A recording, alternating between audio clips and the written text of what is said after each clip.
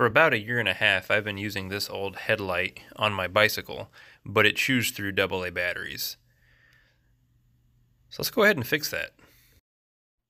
You're going to need a light that runs on AA or AAA batteries, a soldering gun with solder, the battery pack you're ultimately going to use to power the light, as well as a micro USB to USB cable.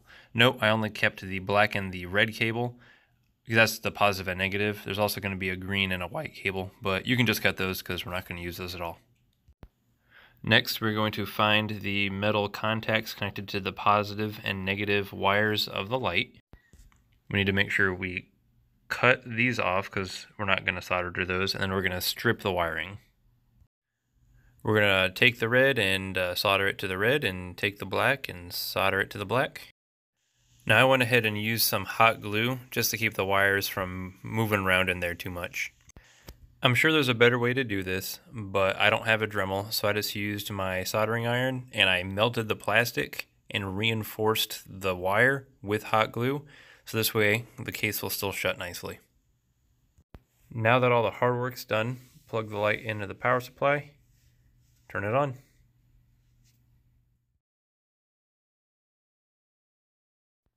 Now when I put it all together, I velcroed everything as far as the light and the battery pack to the frame and put the battery bank in my frame bike bag. Now let's test it out, see how it does. This will work nicely. Let's go ahead and hit the streets and give it a thorough testing.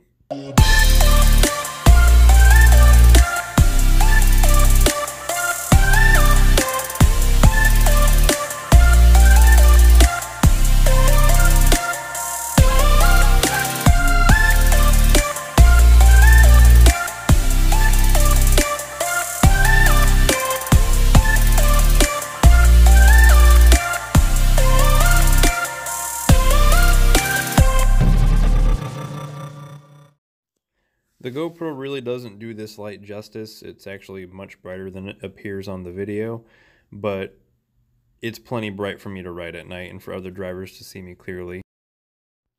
Bike lights can be pretty pricey, and you can find my exact model of bike light on eBay for $31.99.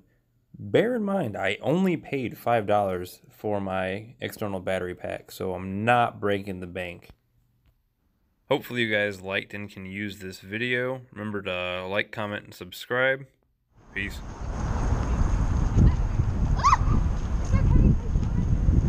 This on you! This on your cow!